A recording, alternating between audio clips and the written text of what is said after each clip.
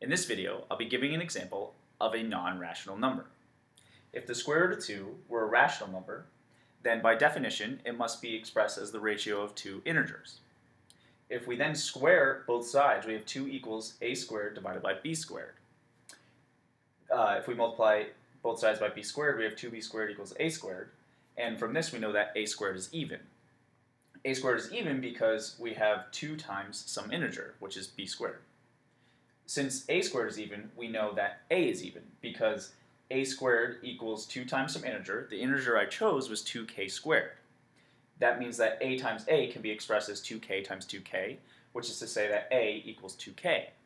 I can now substitute 2 times 2k squared for a squared, and that leaves us with b squared equals 2k squared once these 2's cancel out.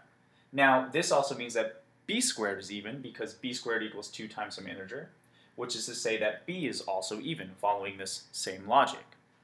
Now if we go back to our original uh, premise, uh, the square root of 2 equals a divided by b, um, where a divided by b is an irreducible fraction. But since a is an even number and b is also an even number, we can express these numbers as 2k and 2l. But these 2's here will reduce, meaning that we'll have uh, the square root of 2 equals k divided by l. But since this reduced, since this is no longer explicitly represented as a divided by b, and it reduced to k divided by l, we know that we do not have a rational number. Now, there's a more specific way to uh, define these numbers or, or classify these numbers, but we need set operators in the next video.